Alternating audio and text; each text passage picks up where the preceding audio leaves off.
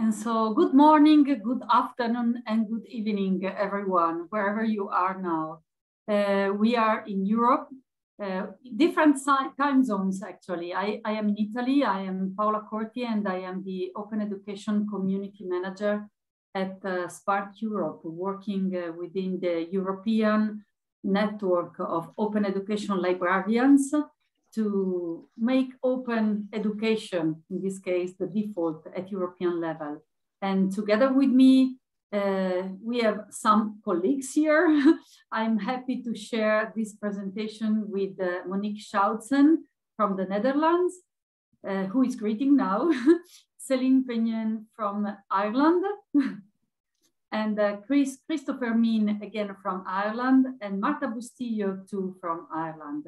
We should have had also a great colleague of ours, Kinga Zayak from Poland, with us today. She did a great job together with us to create this presentation and mostly the activities that are behind it. But unfortunately, she was unable to join us today. So, hi, Kinga, you're always with us. Um, as far as possible, and if you all agree, we would like not to share our presentation during this session because we prefer to see faces and human beings behind the screens, actually. Uh, but uh, please count on the fact that our presentation is already available in uh, Sched uh, in our session page. And uh, I'm sure that someone is going to paste a link in the chat now, so you can have it ended.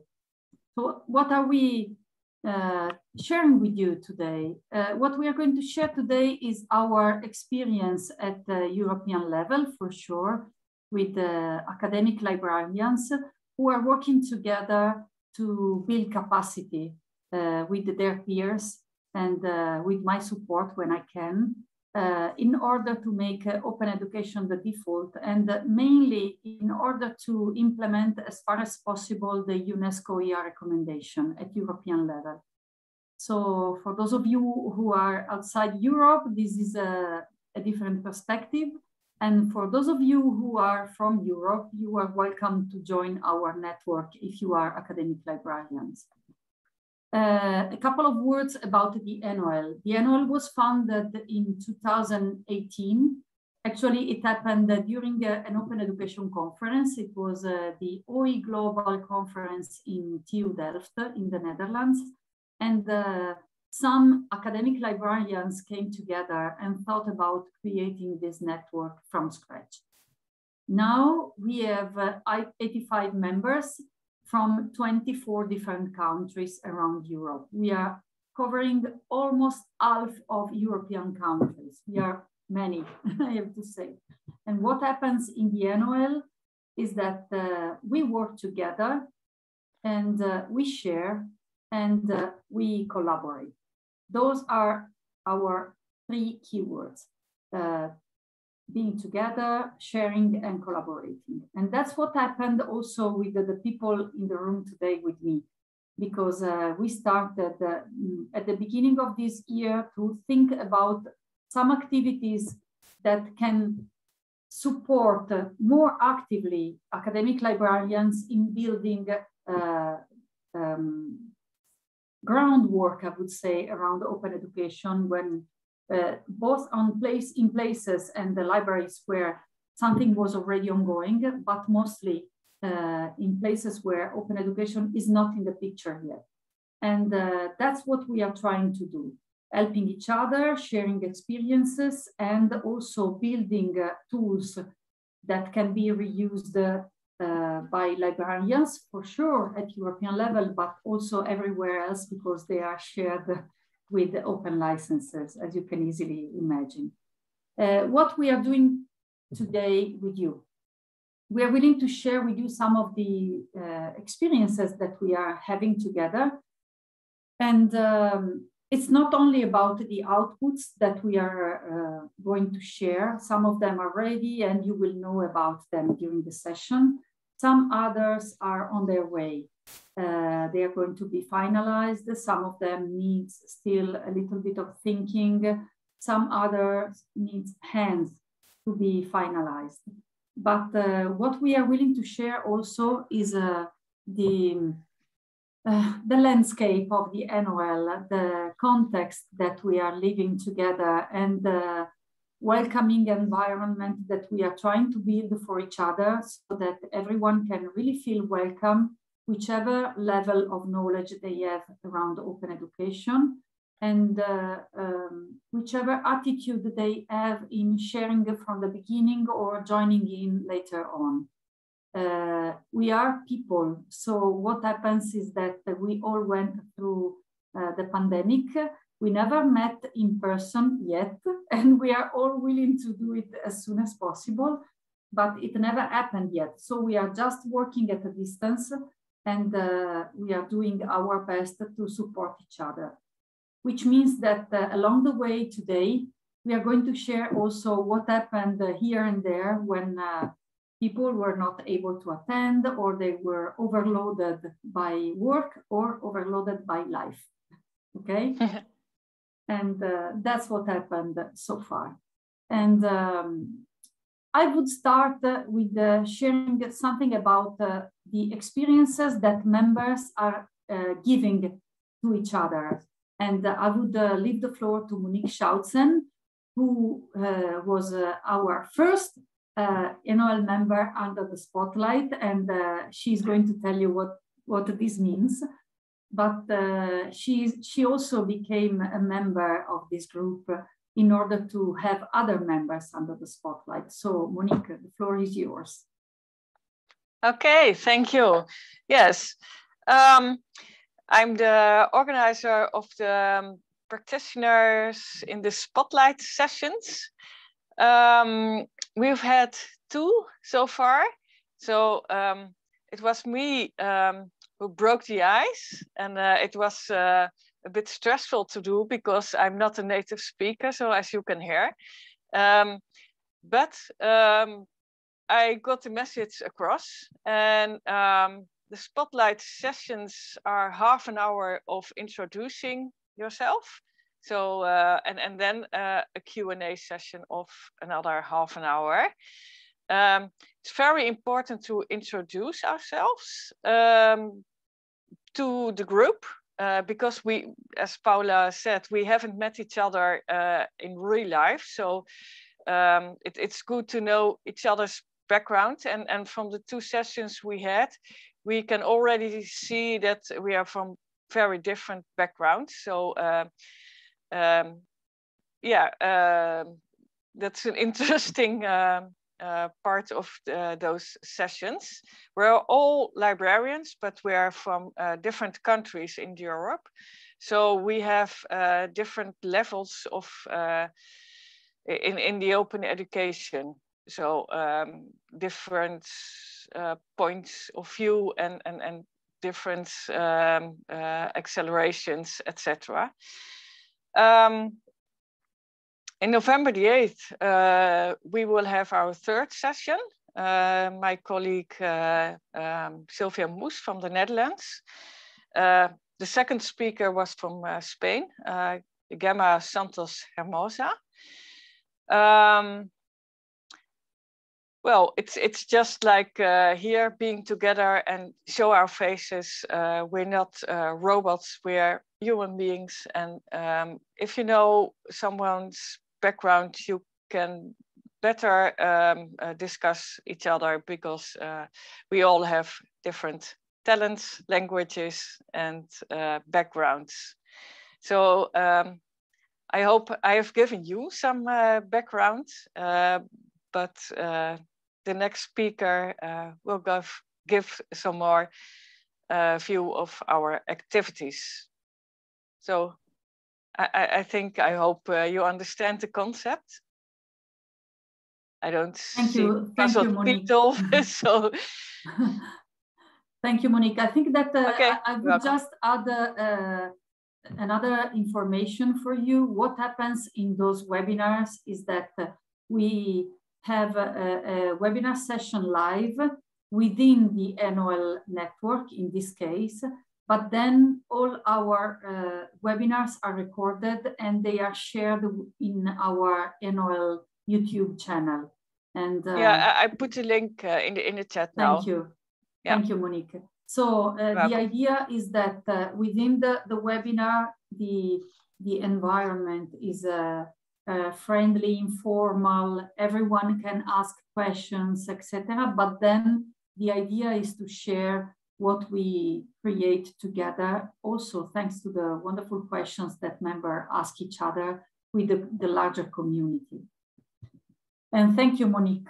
And if, if uh, you have any kind of questions, please just interrupt us and uh, ask them. You are more than welcome to do that or write them in the chat and we will uh, try to take care of them one by one immediately.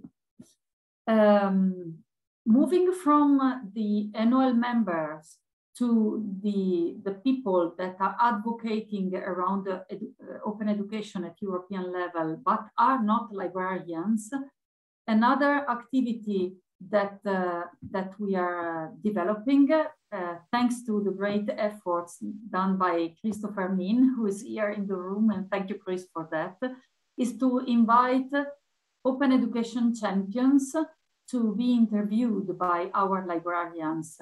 And uh, again, this activity, as you can easily see, uh, shifts uh, the focus from the in, from inside of the librarians' uh, uh environments and activities to the uh, people interacting with them. So all stakeholders, and Chris is going to tell you more about this. So Chris, the floor is yours.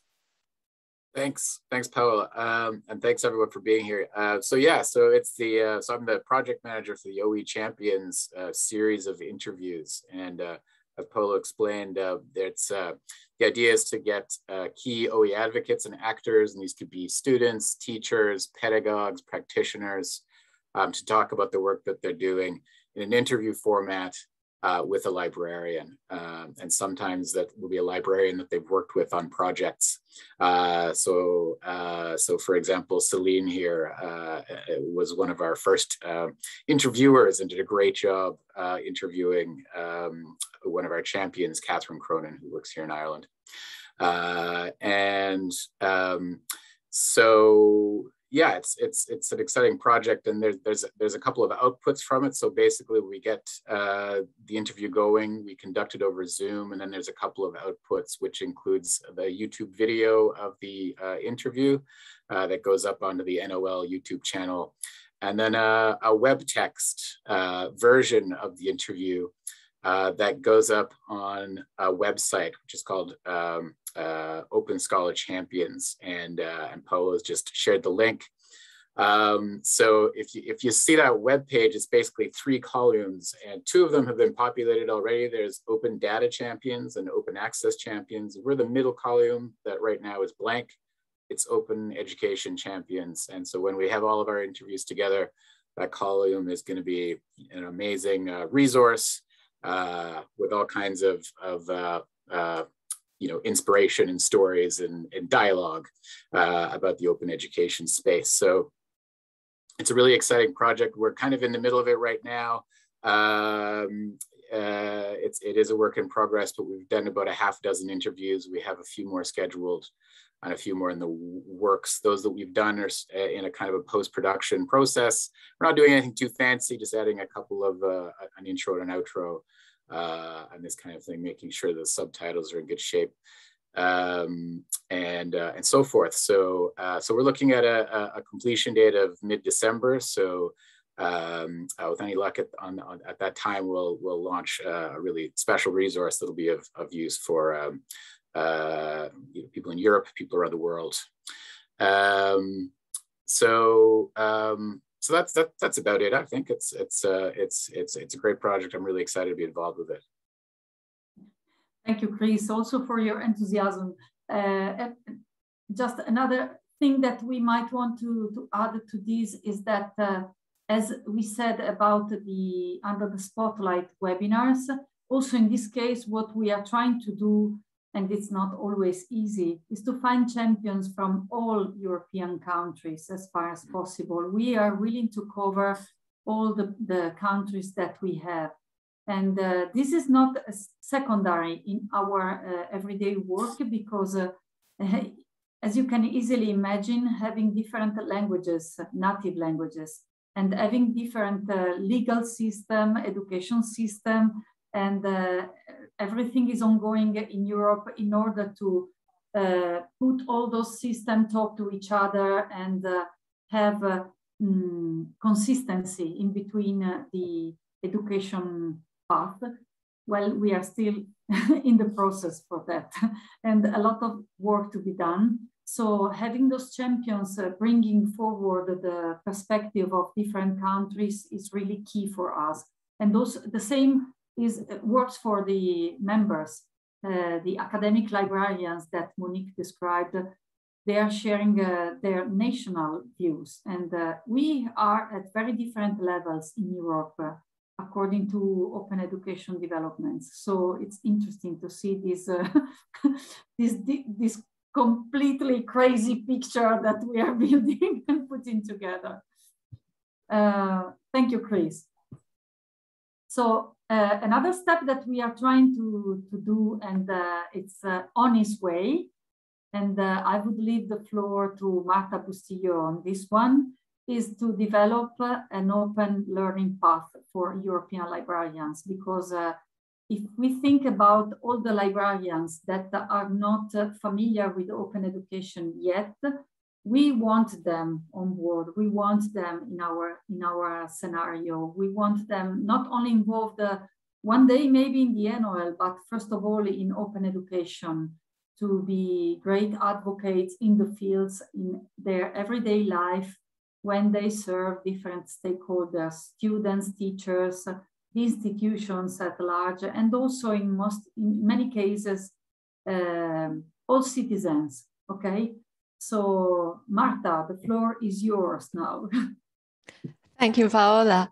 Um, so my name is Marta Bustillo. I am the digital learning librarian at the Library of University College Dublin. Um, and I'm originally Spanish, although I have lived in Ireland for, for many years.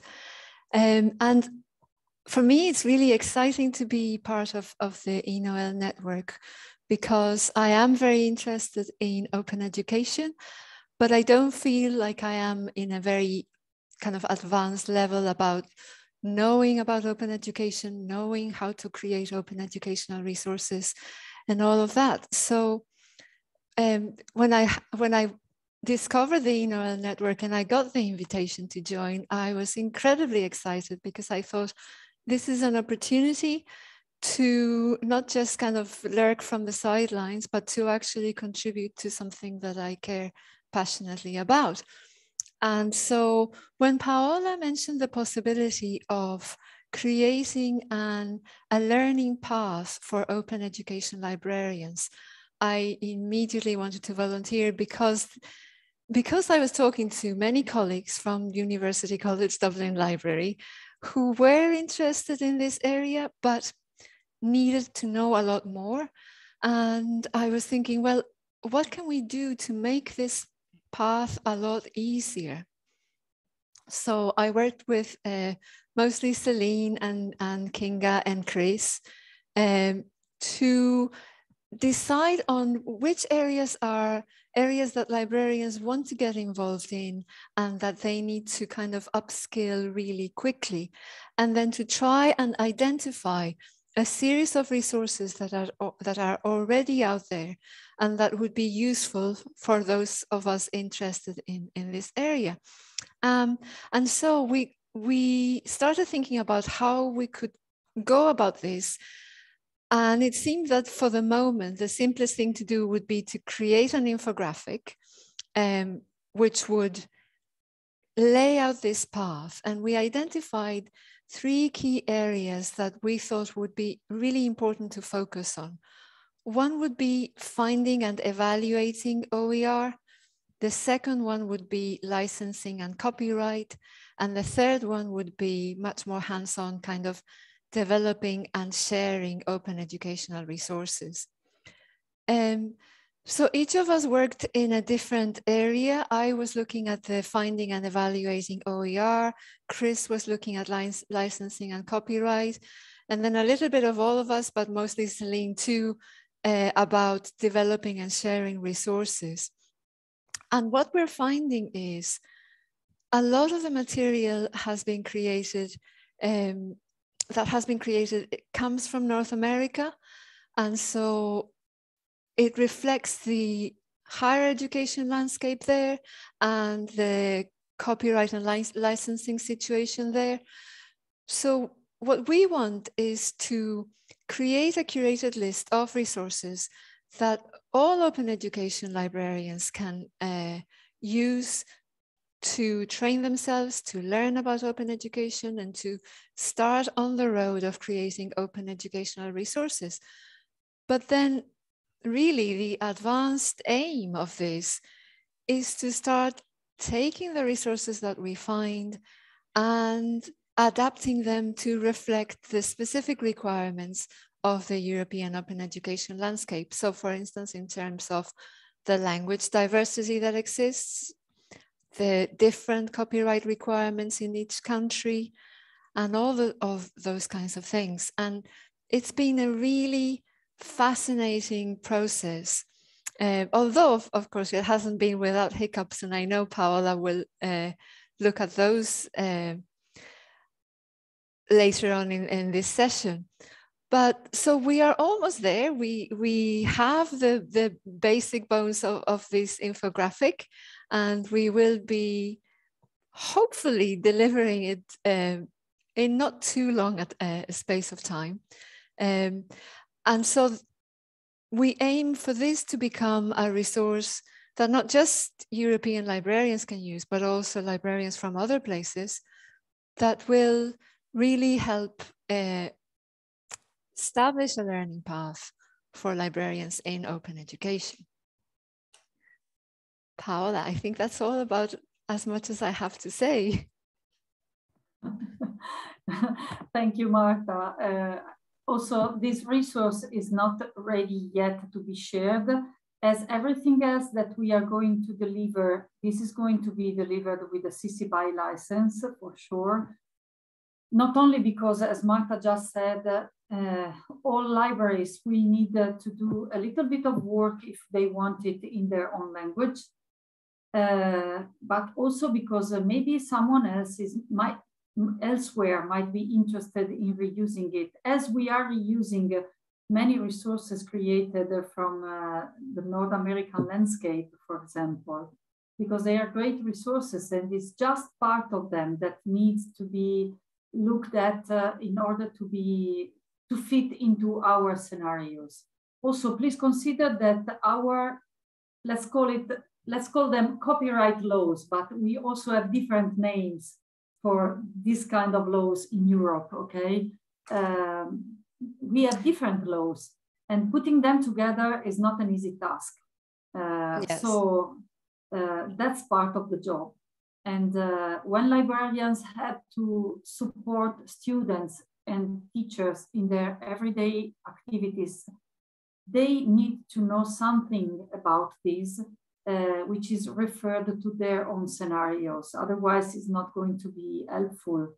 And uh, this is part of the job that we are trying to, to do together. Um, Marta, would you would you like to add something, or otherwise I would no, just to, to no, just to say um, the three areas that we focused on were the areas where we felt librarians can have more of a contribution to the open education landscape. And certainly uh, copyright and licensing is a massive issue. And I know it's not just in Europe, but in general. So that's an area that we need to focus on. Um, but also evaluating resources and, and being able to find the materials that are needed for each of the different disciplines. So yes, that's what we're trying to do. Yeah, and hopefully we are going to be ready soon uh, to share something. So just monitor our website and our resources, and uh, we are going to tell you where to find our uh, outputs uh, in, during the presentation. Just be patient because now we have to, to I, I will leave the floor again to Chris, who is going to tell you something about our open education drops. Right, thanks again. Um, yeah, so our OE drops are, the idea here is a short video series um, for, again, it's sort of um, beginning activities to, to get people started with things, but specifically uh, created for, uh, to be easily consumable. And um, so videos that you can, uh, on, on the very basics of open education, again, uh, but um, something that newcomers can uh, consume while they're, you know, stopping to have a coffee, while they're commuting, you know, on the bus or the subway or, or the car or whatever, uh, walking or just taking a little break. So, uh, so that's the idea behind the OE drops. Um, so this uh, is also a, a, work in progress. We've been working on an opening sort of series of, of, of two to three drops we have uh, video recordings for two drops that I think are just about ready. And uh, in fact, we were just, as we were preparing for this session, uh, sort of hashing out the title for the second drop. So I think we finally got it. Uh, and um, and so that that was over the Slack. Just by the way, in terms of communication channels, one of the things we're using a lot is the Slack, and it's I think it's really a handy a handy tool there.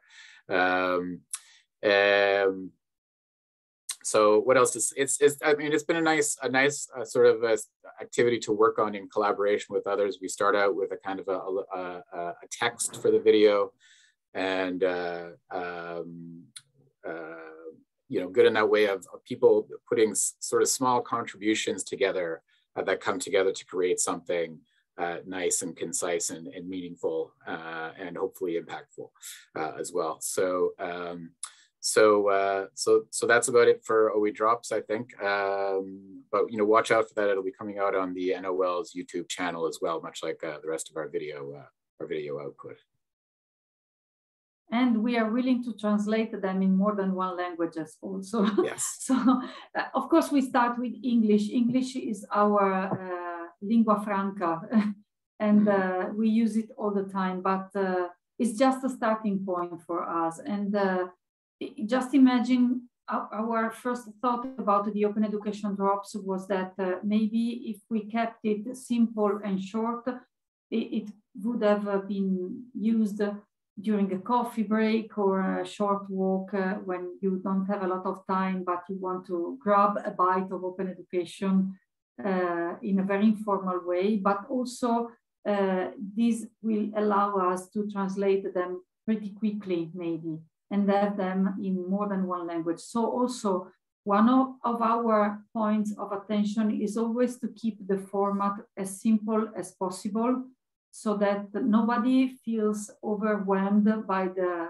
format itself instead of thinking about sharing the content in the easiest and quickest way possible with their own community. So thank you, Chris, for this insight on the open education drops. And uh, now let's move to the resources that uh, the NOL is uh, curating and the NOL is producing because uh, we are uh, working on both actually. And I will leave the floor to Celine now.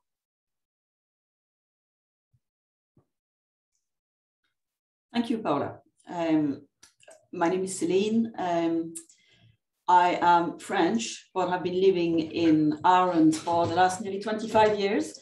So I work in uh, Technological University of the Shannon and uh, became aware and involved with open education um, really only in the last two or three years. So I'm only at the start of the journey, really. The, the concept of open education um, is slowly making its way up the list the agenda in, I suppose, the Irish um, higher education uh, sector. But a lot of work to be done. And uh, I suppose getting involved with the NOL and my NOL colleagues have really put things into perspective and is, is helping me to um, make my own colleagues in Ireland aware of the benefit of open education.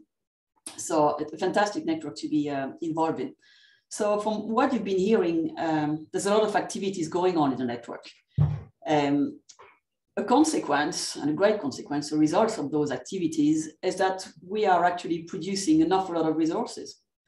Um, and in order to produce, create those resources, we have to be able to access other resources that are already there. So we need somewhere to put the resources that we've created. And we also need somewhere to put the resources that we've accessed. So they can be accessible to all our members and I suppose to the wider public as well. Anybody with an interest in open education has to be able to access those resources. So we looked at different tools um, and we felt that Google Documents themselves with endless lists of links uh, were not necessarily the most efficient way to store our resources uh, or the resources we curated to support our fellow members. Um, most of our resources would be Google Docs, journal articles, book chapters, open courses, videos, plus the resources that my colleagues mentioned that we have created. Um, we sometimes have quite time and there isn't much to add, and then suddenly we'll do, let's say, the likes of a hackathon on, on OER benefits, and then we need to find spaces for approximately 100 links. So we decided to use um, an open tool, user-friendly uh, for all our members. So we looked at uh, Drops, I think, and then we looked at Wakelet. And Wakelet was identified as a free, which is very important for our members, free open source tool to store all the links to our resources. It allows us to organize the resources into collections. And you might be already familiar with Wakelet.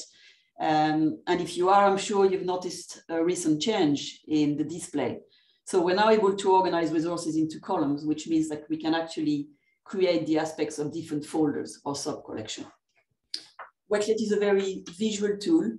Uh, and again, this is very, very important as the majority of our members do not have English as their first language. So we have to be very mindful of that too. Um, all the resources accessed during the ENOEL network activities can be found in the Wakelet collection, all of them. Um, the last completed collection was the upcoming Open Education Librarian Learning Path infographic that Marta introduced earlier on. Um, so all the resources access to create the infographic will be released uh, shortly are available in the collections.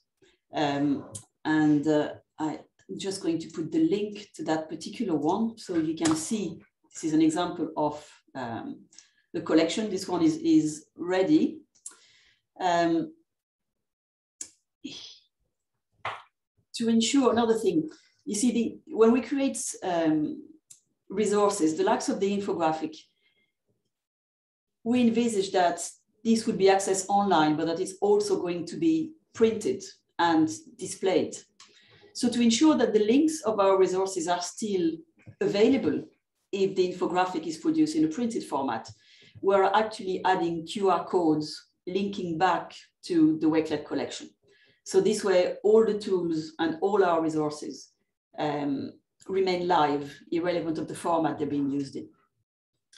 So that's really um, what I wanted to talk about today. Just you know to say that the the network in itself, because of the amount of members we have and because of all the activities, the network is actually creating an awful lot of resources. But more to the point, is accessing hundreds of, I say thousands at that stage of resources. So it is very important for us to have a central point to store all that as some kind of a repository, I suppose, for of links for the network. Paola? Yeah, and who can do this work better than librarians? I'm not a I'm not a librarian myself, and I'm I'm so thankful for having you with all your skills taking care of this part, which is really important for us. We have a we have a, a, a message. Ah, okay. Thank you. Thank it's you. just me, for, just me yeah. making a language point. Absolutely, exactly, Chris. Very, um, very yeah. au fait there. Uh, a start, a commencement. Yeah. So this could apply as well to RNOL, Paola. Yeah, definitely, definitely. this is a nice coincidence.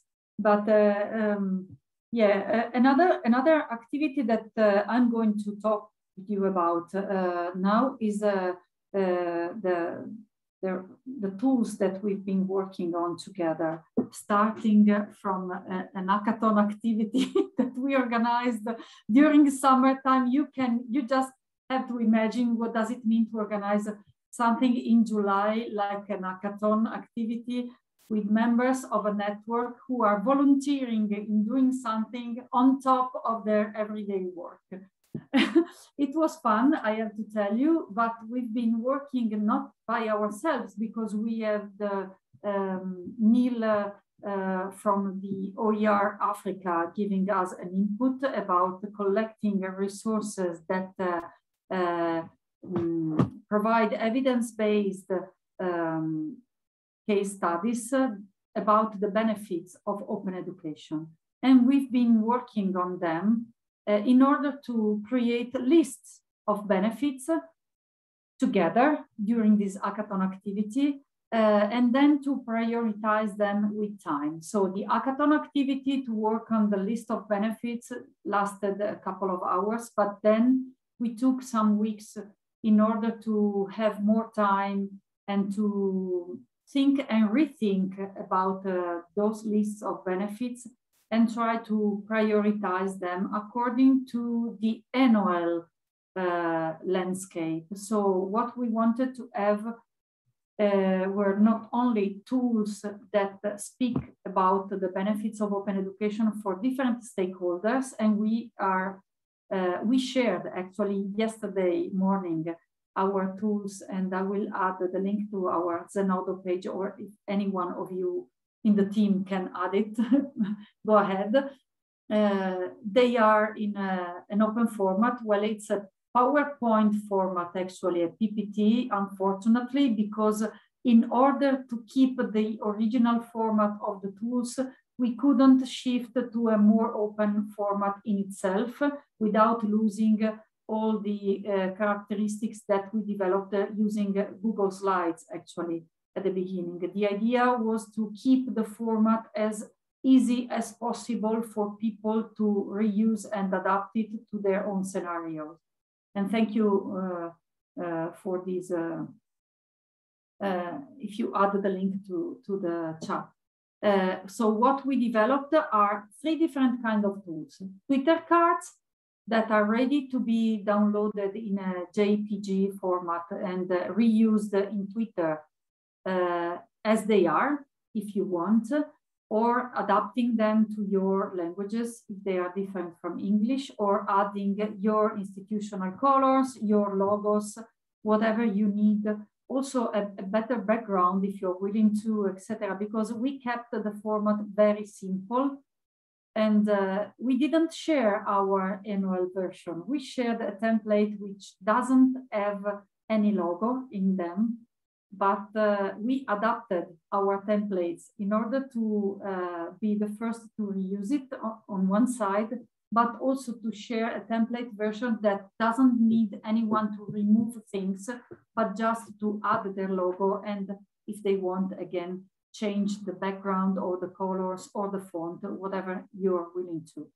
Uh, so we did this for Twitter cards, but we did this also for uh, a slide deck, uh, which can be easily reused by anyone when you are presenting about open education and you are willing to share with your audience uh, the benefits of it for different stakeholders. And in a minute, I will tell you which, uh, which were our uh, stakeholders first. Um, and then we also created uh, leaflets, leaflets in, in a format that can be easily printed and added to the walls of, uh, in our case, libraries, first of all, but also other places around universities or who knows, other contexts uh, like uh, schools or public libraries, uh, whichever use you think might uh, support open education is welcome here. And those leaflets are in a format that, again, is uh, uh, in the format of slides so that they can be easily changed by anyone, no proprietary uh, software needed. They can be opened with any open software that allows you to work on slides but mostly you are willing to change the order of the benefits that are there. We added all the benefits that we found in the literature and uh, we are going to update them in time if we have evidence of uh, more. For sure, everyone is welcome to change the order according to the priorities of their own uh, context. Uh, because uh, it might be that uh, the, the, Italian context, for example, which is not as advanced as the Netherlands context is around open education, uh, needs to focus on more basic needs at, at first. And we need to show the benefits uh, for students, teachers, institutions, and the citizens at large, all people um, starting from different priorities. That's our context, and uh, we should localize the presentations and uh, the leaflets for our own uh, landscape, but uh, it can be different in the Netherlands. It can be different if you, uh, in your countries, are willing to reuse them.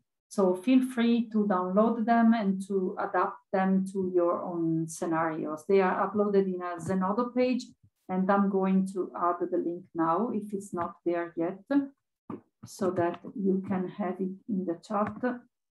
Oh no, it's already there. Thank you, Celine.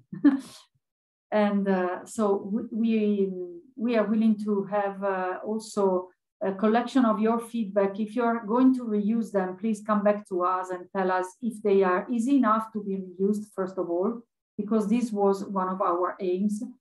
And if you have localized version in any other language, please share them with us because it would be our pleasure to collect them. And uh, what we are going to start uh, next week is a call for action within the ENOEL to ask for translations. We already have uh, almost ready the Italian and Polish version of the tools, but we are going to, uh, we already have volunteers for the Russian version, the Ukrainian one, the French one. So uh, the ENOEL members are going to provide some of the existing languages, but uh, for sure it will be our pleasure to have more. So just reach out to us and let us know what happens. Uh, we are going also to share something about the process that we went through because it was not easy at all, to be honest, to find the best way to create tools starting not with our version, our institutional version, but having in our minds that our aim was most of all to produce templates and then to make to enable people to adapt them. And we we tried it first just in order to be sure that we were going to uh, to go through the process ourselves. So let us know. And um, and then after the benefits that are for sure meant to enlarge uh, and raise awareness around the UNESCO ER recommendation, as you can easily imagine, I think we can talk a little about the challenges that we went through. And uh, I would ask my uh, my partners here in the presentation to open your microphone and share about the challenges that you encountered along the way. Um, I can I, I can quickly summarize what we have, but it would be better to hear from you directly, maybe, if you want. Can I just say that I, I mean, this seem, might seem silly, but for some reason, the one hour time difference, it, it just, it blows my mind every time. And for, because I'm originally from Canada and I'm always thinking about time going in that direction. Now I think about, I have to think about time going in the other direction, but only by one hour. So, so that, that I find a little bit tricky for some, for whatever reason. Um, but you know, I I suppose it's one aspect of, of collaborating over a distance like this, particularly with large, you know, large sort of networks of people. Um, I think that's always there's always challenges there. Yeah, just imagine about that, that our meetings are set in the middle of the lunch break, I would say, once a month, each Monday. It's always on Monday. And uh, we have people from uh, Portugal uh, uh, who are, and, and from UK uh, and Ireland. They are, they started the meeting in, when it's 12 midday for them. But in Tomsk, which is in Siberia, it's uh, around six in the afternoon. So they are at the, at the end of their uh, working days. And sometimes it's not as easy as you can imagine to, to have all of them together. That's why we record all the meetings and people are also happy about this because uh, it happens that uh, they cannot be there. But uh, time zones are always an issue because every meeting needs us to remind ourselves that we need all of the time to, to, say each other, no, but it's not my time, it's your time. No, I was talking about yes. the, the other person time. Paola, I think the, the other challenge, I, at least for me, and I'm pretty sure for everyone else, is that we are all super enthusiastic. We really want to get things done. But then you have to kind of balance that with, with the day job and with your life. And sometimes life and day job and email network don't completely match up. Um, so, you know, sometimes you think, oh, this will be done by the end of this week or by the end of this month. And then you realize the end of the month has come and it hasn't quite uh, been finished because life just got in the way. Definitely. And also, I would add that uh, English as a second language has been a challenge too. yeah. Because uh, not only because it's maybe it's, I mean, for the majority of us, this is not our native language, but it's also that uh, this means that if you are shy or if you are not uh, um, comfortable with making public mistakes, which I'm doing all the time, uh, but if you, yeah, if you're not comfortable with this and you don't accept that uh, uh, in, this in yourself, well, you're not going to open your microphone. And we as a network uh, lose something anytime people take a step back and don't open their microphone to share their experience or to tell us if they have a problem or if they are facing an issue. Anytime we don't have those challenges clearly in front of us, we can't face them. So uh, just imagine that uh, we had the chance to talk with a group of people from uh, Ukraine, Kazakhstan, and Russia recently. This was quite a challenge for all of us because we had an interpreter all the time. Uh, most of the people didn't use English uh, as a second language either, okay? Some of them understood it quickly, some others needed the interpreter to follow the, the, the path. And they are all uh, European countries, and we are doing our best to involve them in our day, our everyday activities. So languages are a challenge. They are a great opportunity also because you, you just imagine the history behind those languages and all the resources that are there and that can be shared and uh, make also uh, learning different languages easier in time. But at first, they are certainly one of our highest barriers.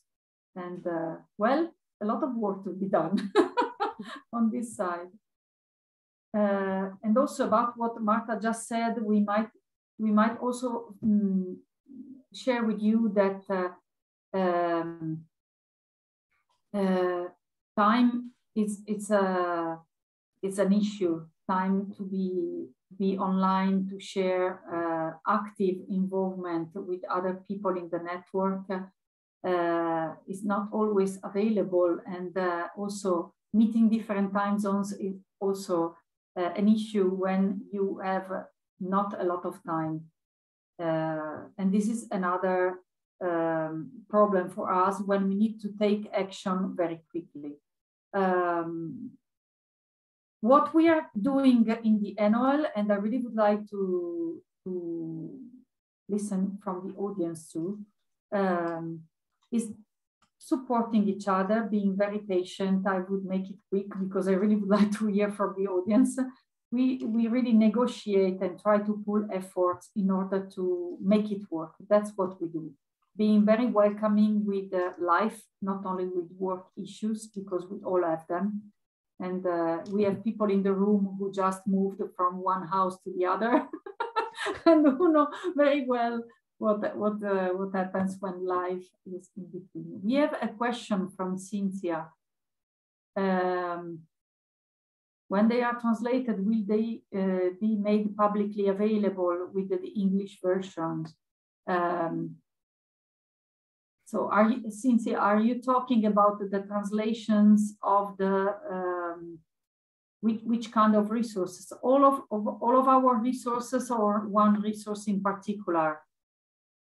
Um, sorry, uh, I was looking at actually all because we're pretty much at our infancy in this and and this is a significant thing for us right now in terms of developing that education and awareness program um, so so we would love to be able to repurpose instead of having to reinvent the wheel uh, but we do have the two official languages Definitely. here in canada Definitely. So about the benefits, what I can tell you is that uh, they are going to be translated in French. I don't have a, a, schedule yet for this because we are going to talk about this in our next ENOEL meeting, which is next Monday. And uh, I prepared all the background work to coordinate the efforts in the hopefully, hopefully easiest way possible for members so that they don't have to pull their time uh, in order to create templates or anything, but everything should be ready by Monday to ease their work on the translation side. And uh, as soon as the resources will be uh, uh prepared, checked, and finalized, they will be for sure disseminated openly as everything else. Okay, so count on this, Cynthia. but Cynthia, for the um, learning path for librarians, I think the translation for that will take a little bit longer. Um, but I hope that there will be some translations for that too.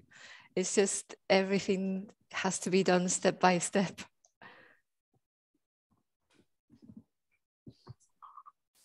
Okay. Any and, other question? You are you are you curious about anything Yes, because this session has flown. We have about two minutes left.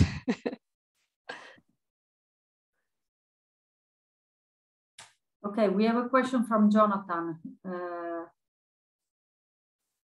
how often does it happen that something that works in one country does not work in another? Often. Very often. Often, yeah, because because uh, Jonathan, you have to imagine that uh, we are at very different level of uh, development, also uh, from the policy uh, perspective around open education. And uh, for what is worth, open access always uh, is uh, leading the way, and then open education still follows at, at this moment. And well, difference are always behind the scenes. And also another issue is that we are not, as we used to say, we are not lawyers also. So what happens when uh, there are differences in between countries? Well, we are either librarians or instructional designers or both, but uh, uh, we need uh, legal advice sometimes. So uh, it's uh, it's an issue.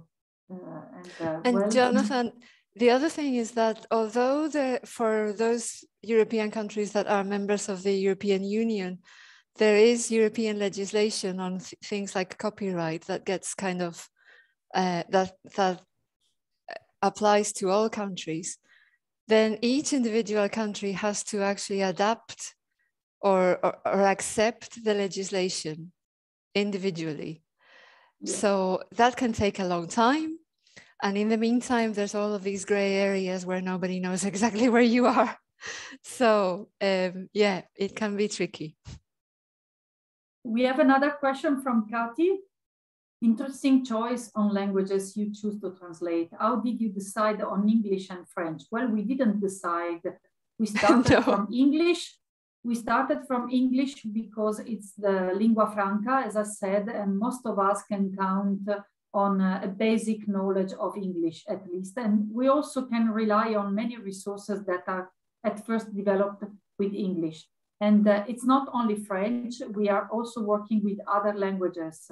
So uh, we have, as I said, volunteers who are translating in uh, Polish, Italian, um, uh, Russian, maybe Ukrainian. Uh, I can I, I can rely on uh, German too uh, in time, and uh, let's see what happens with Greek and uh, Spanish. You know, we can we can really help a lot with languages. Paola, Jonathan is telling us that we need to conclude the session. Yeah.